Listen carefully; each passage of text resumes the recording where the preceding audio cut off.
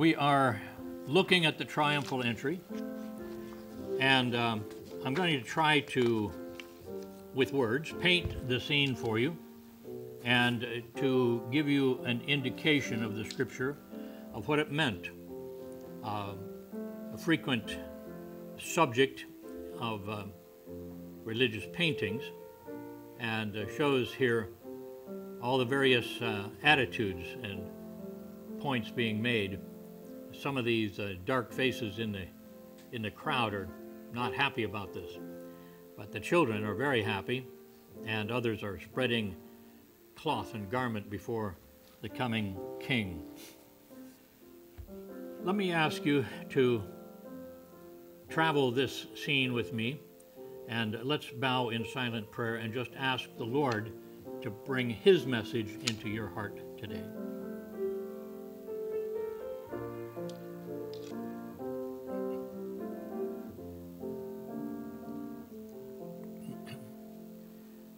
Right, triumphal entry, and we'll be looking at John chapter 12, some other verses as well. John chapter 12, verses 12 to 19. I didn't want to put it all out here for us to read at the beginning. We'll be reading it as we go through. Uh, John for us uh, sets the scene in verses 12 and 13.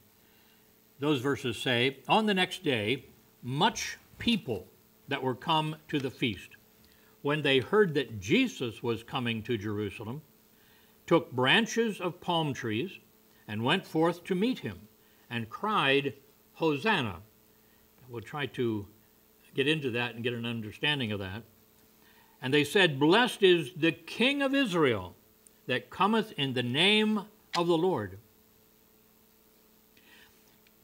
To understand this scene, we need to understand that the people came with expectation. They heard Christ was coming. They came with certain expectation. We understand this because they were quoting from a psalm that was very important. Psalm 118, 25 and 26. It starts out by save now. I've bolded that to remind you of something in a moment. I beseech thee, O Lord, O Lord, I beseech thee, send now prosperity. Blessed be he that cometh in the name of the Lord. We have blessed you out of the house of the Lord. The house of the Lord be the temple. Hosanna is the Hebrew for save now. save now. Save us now. That's what Hosanna is. Understand politically that Israel at this time was under the control of Rome. The entire civilized world was under the control of Rome. When we say Rome, we're talking about the Roman Empire, but we're talking about the city of Rome. Uh, that was that was the place. That was the place of the king. That was the ruling city. Now at Passover, all Israel gathered in Jerusalem. It was the rule. It was the law that every man of Israel had to leave wherever he lived, across the seas, wherever, and come to Jerusalem at Pentecost. So it was a huge, huge crowd. Uh, Jerusalem stayed crowded. Then uh, you had uh, military people there from Rome, and uh, so that crowded it up even more. Then Pentecost came, and thousands upon thousands of Jews from around the world came wearing their uh, uh, you know, strange garments and coming with uh, backpacks and, and pack mules and all these things and uh, brought it in. So all the uh, Motel Sixes were filled. All of the Airbnb were filled. Anybody that you knew uh, could put you up, you were, you were bunked on a air mattress on the, the floor of their living room. So Israel gathered together. It was a time of national feeling. We are back in Jerusalem, however far we have uh, wandered, where life has taken us. When the sense of independence was ready to flare up, uh, ready to burst into fire. If we could rule ourselves, you see, as one time we did. Now, in this case, the spark was Jesus raising Lazarus from the dead. A prophet was going to be there who was not just a guy who talked a lot, he was a guy who healed people of everything. The incurable leprosy, he healed them. People who were born blind, whose eyes had never seen, were healed. People that were born from birth lame sprung up. They didn't ever have to learn to walk. Immediately, they got up and could walk. Those legs that were, how, how thin, spindly were those legs that had never walked, always been carried wherever they've been. And now those legs could support them. And they would leap and, and say, Hallelujah. Lepers, the, the running sores were cleansed. The skin was pink instead of dead white. And a man that had been dead and buried in a sepulchre for three days walked out of there alive and well. This said to them, Here was the promised Messiah, the Christ. He has come. How excited were they? How excited were they for Israel? The people made the meaning of their demonstration plain with palm branches, the way you receive kings, signs of victory, signs of rejoicing, with the quote. Notice that in the psalm, he that cometh in the name of Jehovah would normally refer to the worshiper drawing near to the temple. These psalms were psalms that were sung and chanted as they went to the temple at uh, Passover or other times they were there. But now the people changed that to say, Blessed is the King of Israel. Oh, the King. King of Israel that cometh in the name of the Lord. This was their expectation. This was the scene. This was that volatile scene. Perhaps this was the time to overthrow Rome. This was the time to proclaim a new king. And who better than a miracle worker like this Jesus? Now, let me step back in uh, time to talk about the prophecies. The timing of this day was given to us, to Israel, in Daniel 9 24 and 25. Now, this takes a great deal of study and reasoning and get into it. So I'm summarizing this, of course, because we only have, what, four or five hours this morning. So, no. 70 weeks, an angel said to Daniel, are determined upon thy people, Israel, and upon thy holy city, Jerusalem. You see, to finish the transgression, to make an end of sins, to make reconciliation for iniquity, and to bring in everlasting righteousness. This is talking about the coming of the new covenant, which was the only covenant that God presented to them that could forgive sins. The old covenant of the law would recognize sins, would identify sins, but did not forgive sins. He goes on to seal up the vision and prophecy and to anoint the most holy. To anoint was to pour oil upon for the sake of anointing a king or a prophet or a priest. In the case of the Messiah, he was to be all three. Verse 25 Know therefore, the angel says, and understand and he gives them a timing sequence that from the going forth of the commandment to restore and build Jerusalem. This happened in their past uh, when Nehemiah, but it was still future to Daniel. He was in uh, Babylon. To restore and rebuild Jerusalem, that happened when Nehemiah was sent forth to rebuild the wall. You did not have, you did not rebuild a city until you built the wall around it. That showed its independence, that showed its ability to defend itself. And so this was the time when that happened, this clock began to tick and was counting off God's time of this prophecy.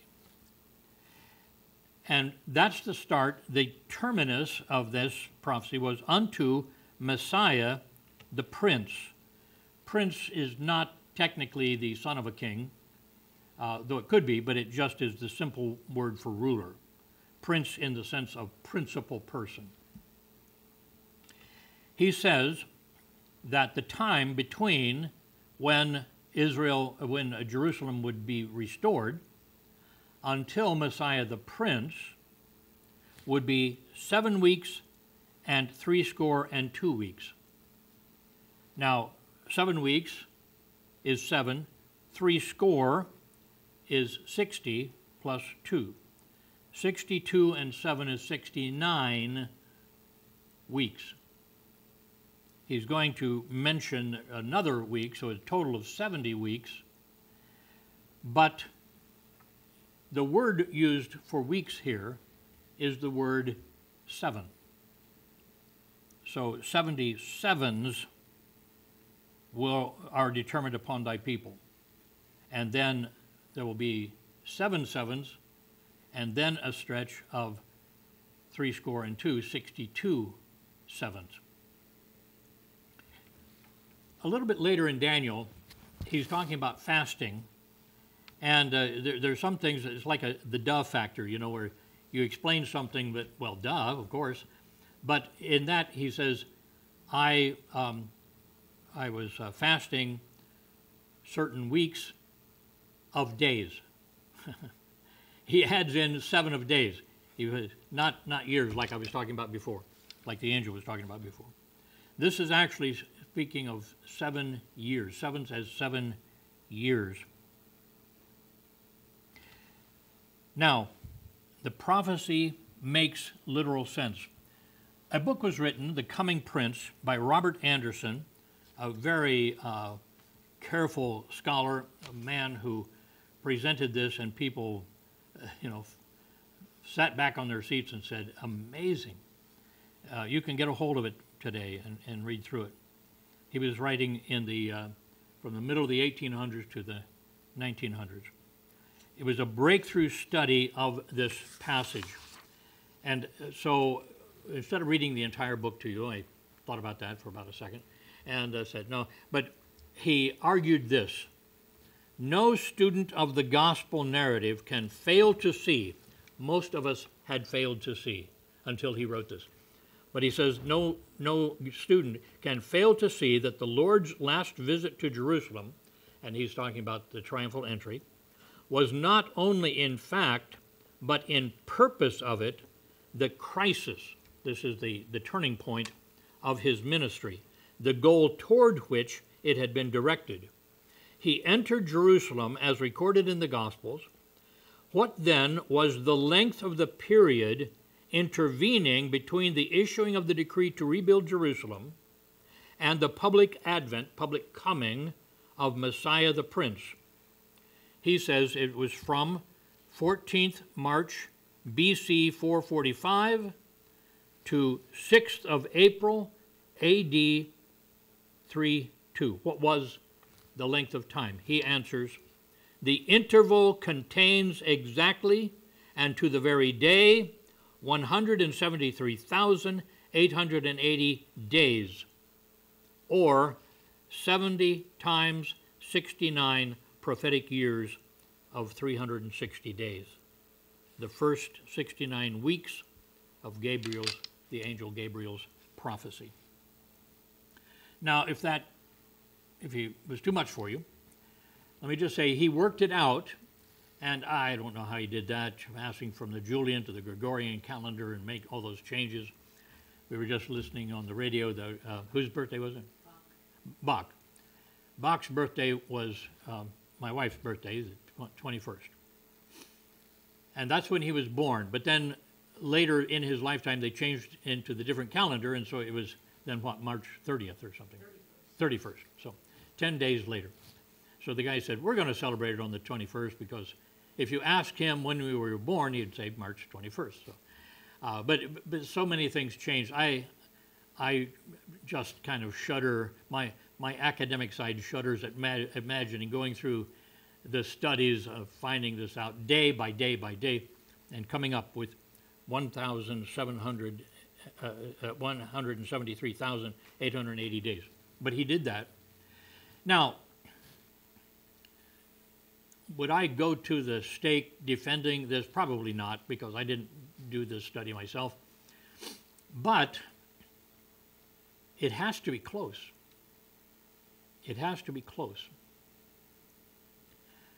I believe that it was this prophecy given to Daniel, one of the wise men of Babylon, that when the wise men of Persia, and Daniel lived into the time of Persia and was one of the wise men then, but many years later, three, three, why am I saying that? The wise men that came to visit uh, Jerusalem, that came to visit Jerusalem, because this prophecy was given to Daniel for his people and his holy city, that would be Israel and Jerusalem. They came to Jerusalem to ask, Where is he that is born king of the Jews? And I think they knew it was going to be uh, about that time, and that's when God gave them the miraculous sighting of that uh, miraculous star. Anyway, I believe that uh, this gave the wise men the expectation of a coming king. They were studying the works of the, the earlier wise men and um, caused them to journey to Jerusalem after God showed them the supernatural star. So I think this was it. This was the prophecy. And so that God was looking forward to this time when he would present himself as king to Israel. He would offer himself as king if they would receive him for who he was the Messiah, the Christ, the anointed one. The idea here is that the Israel, if they had come to him and accepted, he could have begun the millennial kingdom then. It seems so odd to us. Um, and of course, God knew they wouldn't, but the offer was real. And um, it was offered again after Christ's death and resurrection it was offered by the apostles to Israel again during the first part of the church. Uh, but then came, of course, the, uh, the attack on Israel, AD 70, and uh, the dispersion of Israel. And uh, now the kingdom will come as we know it in the future. So we see here this was the timing of it. And then we see the character of it. How did the Old Testament describe this? Uh, John 12, 14, and 15. Jesus, when he had found a young ass, a young donkey, uh, ass is just the early English uh, for donkey, that was just what they called it, sat thereon, as it is written. See? And so uh, John is saying he chose to do what was prophesied. It was written, Fear not, daughter of Zion, behold, thy king cometh, thy king cometh, sitting on an ass's colt. Now, examining the prophecy, what was, uh, when he says it was written, where was it written? What was written? Well, Zechariah 9 9. Rejoice greatly, O daughter of Zion. Zion is the hill upon which Jerusalem is built. Shout, O daughter of Jerusalem, behold, thy king cometh unto thee. He is just that is, according to law, having salvation, lowly, riding upon an ass, upon a colt, the foal of an ass. Uh, not on some great white horse, that will come later, but on, upon a, a, a humble donkey. So John emphasizes the last part, come your king sitting on an ass's colt, to show the visible part of Christ's fulfillment. And so Christ came on the donkey's colt. then examining Christ's actions. Christ was publicly claiming messianic honor. You may understand me to be the Messiah. That was his proclamation on this day. Now, this action did not happen before. This was the day. I think this was the, the fulfillment of that great prophecy by Gabriel to Daniel, uh, perhaps to that very day. I want you to consider the dramatic contrast with Christ's past conduct up until this time. He repeatedly asked those to whom he ministered to tell no one. This was the stuff that the story of Messiah was was you know bound to, to bring forth. He said, Don't don't don't tell. Matthew 16, 20. Then he charged then charged he his disciples that they should tell no man that he was Jesus the Christ. Jesus, his human name, Christ, his title of king, Messiah. Mark 5:43. He charged them straightly that no man should know it, and commanded that he should be given her, Jairus' daughter, something to eat. Um, don't get it out that I've, I've raised this child from the dead. John 6:15. When Jesus therefore perceived that they would come and take him by force to make him a king, Pastor Emiro's message today, he departed again into the mountain himself alone. He avoided being uh, coerced to be king. But this was the time. This was when it was should have been done. This is when he said, "Now I proclaim myself king." So the action had not happened before, and in fact, Christ organized this triumphal entry. Now, this is something that I had missed until I got into this study and others had picked it up. Uh, in fact, uh, uh, one of the passages that people have misunderstood, thinking that he was talking about his second coming, um, is, is in here, and we'll get to that. Jesus had planned for this joyful reception. He had sent his disciples throughout these cities to proclaim that the Messiah was coming. He was organizing this, you see. In Matthew 10 23, he said this But when they persecute you in this city, flee ye into another. Don't spend a lot of time battling it out in one city, just go to another. For verily I say to you, time is limited, Ye shall not have gone over the cities of Israel till the Son of Man be come. This is not the second coming. This is him coming to Jerusalem. He sent them to the cities that he would visit on his route to Jerusalem for the triumphal entry. He sent them as, what's the term, the, the forward men, you know, the promoter people to say the Messiah is coming. He's coming through your city. He's going to be proclaiming himself as Messiah. Don't tell people I'm the Messiah. Now he says, go through and tell them this. And so this was the publicity path. He sent his disciples to Bethphage to get the donkey, setting it up for this, this situation. Luke 19. And as they were loosing the colt, the owners thereof said unto them, What do you think you're doing, dudes? Why loose ye the colt? They said, The Lord hath need of him. Now, Christ had told them that if somebody asks, to tell them that. So he had made arrangements ahead of time with this person. And Jesus knew that his time, this time, had come. In Luke 19, 39 and 40, and some of the Pharisees from among the multitude said unto him, Master, rebuke thy disciples. Do you hear what they're saying? They're quoting the Psalms about you. They're calling you, you come in the name of the Lord, you're coming as king. Rebuke them. He says, No. He answered and said unto them, I tell you that if these should hold their peace, the stones would immediately cry out. Well, that's be an odd thing. And the, uh, the stones start singing, Hosanna, save now. Here comes the king. In other words, the very creation felt the impulse of saying hallelujah to the king who is going to rule over the creation. He said, It has to happen now. I will not rebuke them.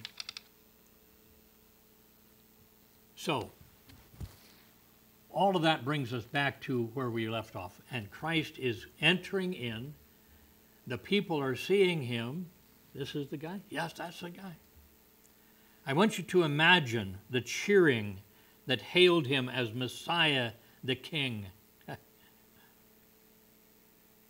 Here was Israel's true king, David's son, prophesied to come, and Lord, Master, now officially presented himself to the nation. Here was his true offering of the kingdom to Israel by declaring himself the Messiah who should come. I am here. And so everything was in place to bring in the millennial kingdom if they had received their king. Well, let me take you to the third place to look at the reactions to this great triumphal entry. Verses 16 to 19. Notice the disciples, first of all, in verse 16.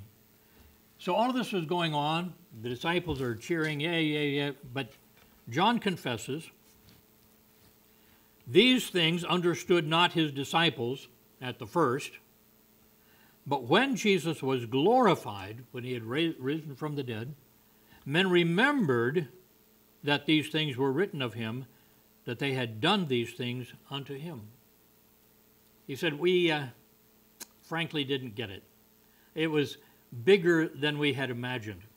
We thought that this man that we had honored and asked, What kind of a man is he? He could do miracles, he spoke for God and should be king. Our hopes were at the top. But we didn't understand. John, one of the very disciples, admits the truth. They understood none of his plain references to death and resurrection. Their minds were so set on his immediate kingdom that only his resurrection could change it.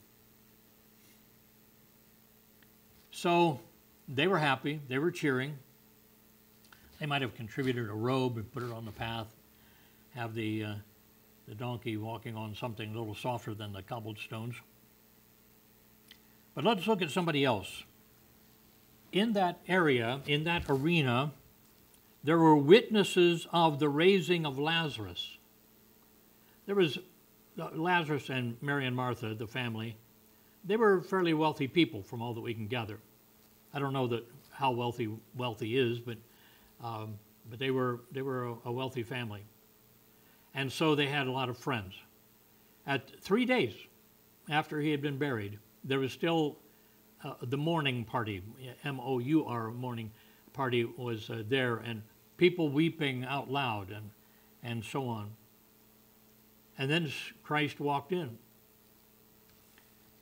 We see here in verse 17 the people, therefore, that was with him when he called Lazarus out of his grave.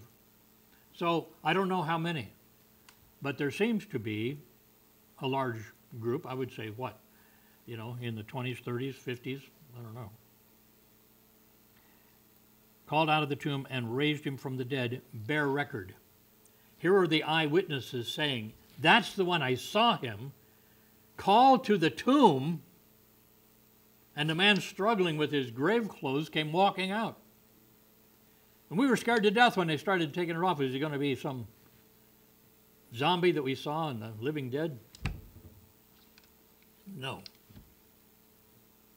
He was well, spitting out a little linen from his mouth and uh, doing, doing well, looking really good. He's the one who did it. This is the man who raised Lazarus, well known Lazarus, from the dead. Here was the, in a week, many of the people in this group are going to be crying out, Crucify him, crucify him, in a week. How deep is Israel's guilt for rejecting him when his credentials were so indisputable? The actual witnesses of him raising Lazarus from the dead. There was a secondary group there, point C, of the hearers of the raising of Lazarus. They're mentioned in verse 18. The people who were there and saw it had told others. Can't you imagine? How was the funeral? He's alive. For this cause the people also met him, for they that heard that he had done this miracle. They said, We, we got to see this guy. We've got to see the man who raised Lazarus from the dead. And then there were the religious leaders, the Pharisees. Verse 19. The Pharisees, after having come to him and said, You should rebuke them, he says, No. They gathered off in a little corner and they said, They said among themselves, Perceive ye how ye prevail nothing? Behold, the world has gone after him. We were trying to get rid of him. Look what's happened. They were upset.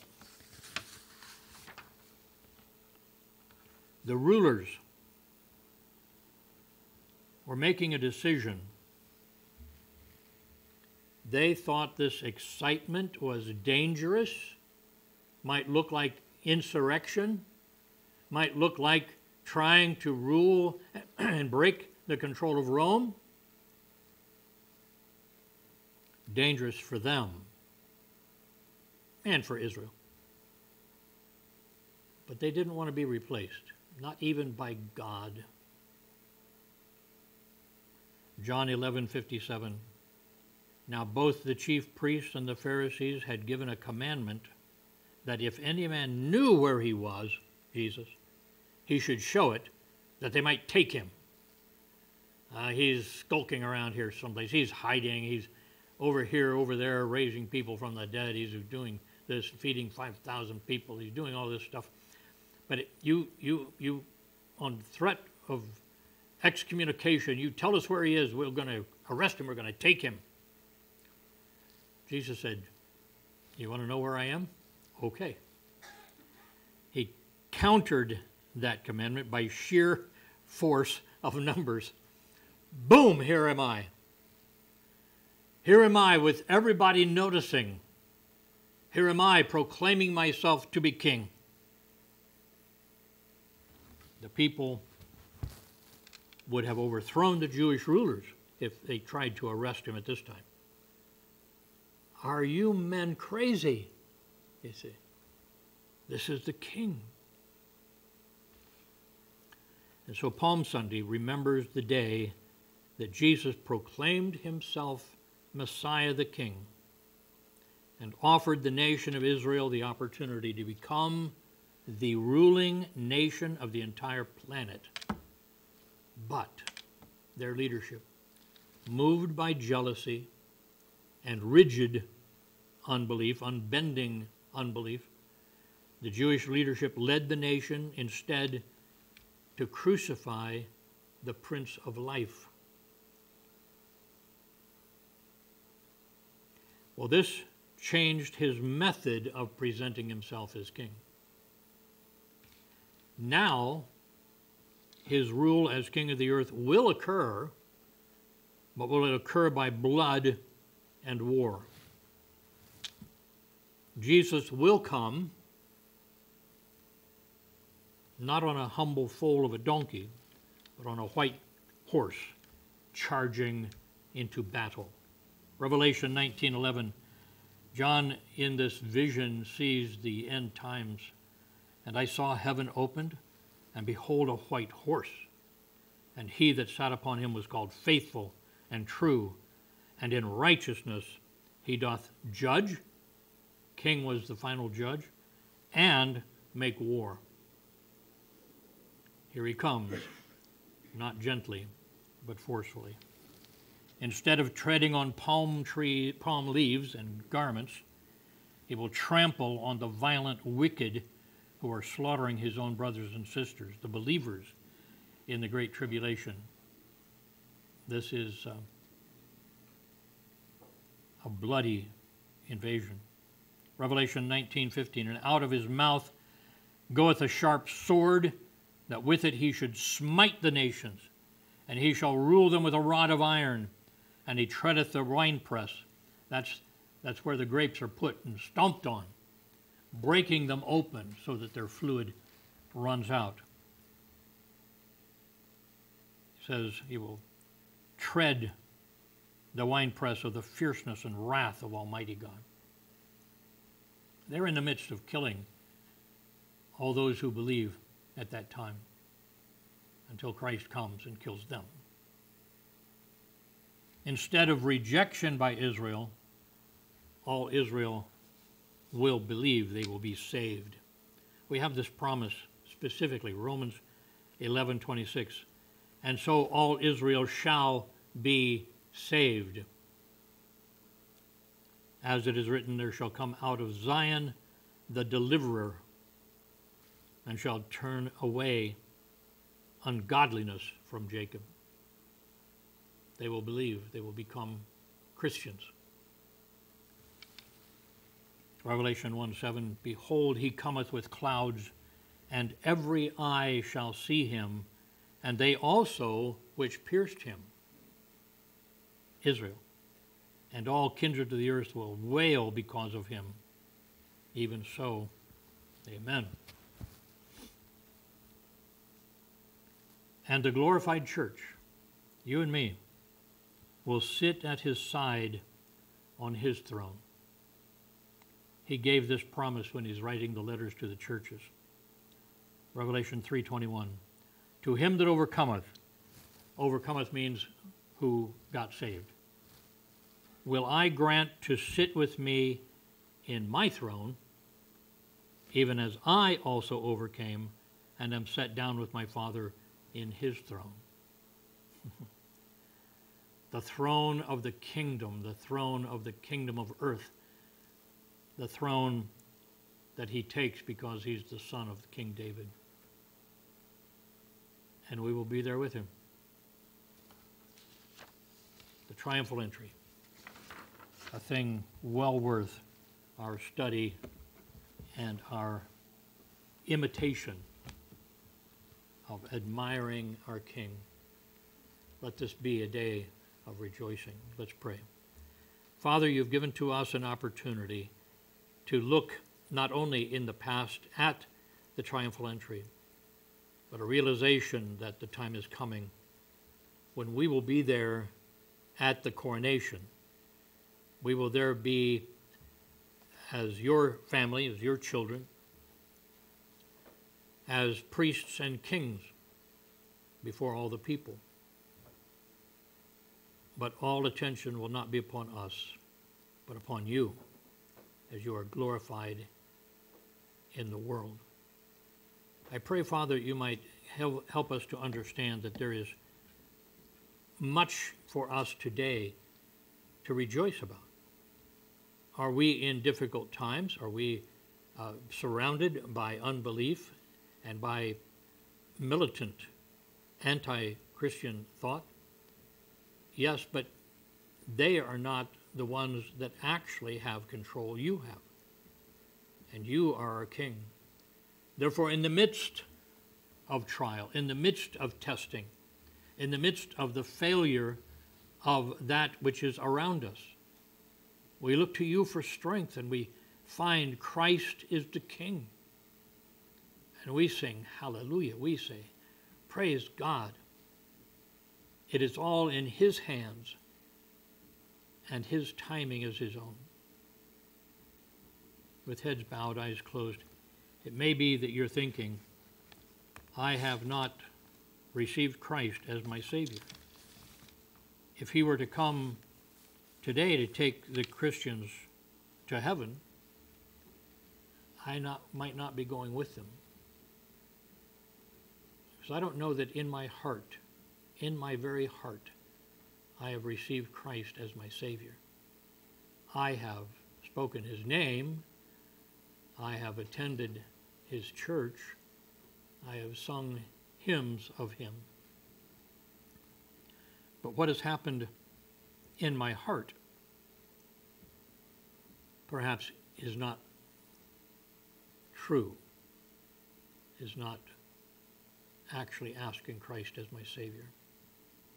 If that is the troubling thought on this day of rejoicing, let me ask you just slip your hand up, say, Pray for me. May I turn to Christ as my Savior, as my King today. Would you slip your hand up, say, Pray for me? I would love to pray for you. Bring your name before God. Our Father, then we turn to Thee and thank You for the offer of salvation as You offered the kingdom to Israel so then, uh, so long ago. We thank You for the offer that we may take as they could have taken, but they rejected, and their city was destroyed. Father, if we were to reject Your offer of salvation, we will be destroyed, and that forever. But we thank You for the offer of salvation, and for each one here that knows beyond the shadow of a doubt that they've received Christ as personal Savior, and that one day we will be with you when you return in wrath and in glory. So we pray these things in Jesus' name. Amen.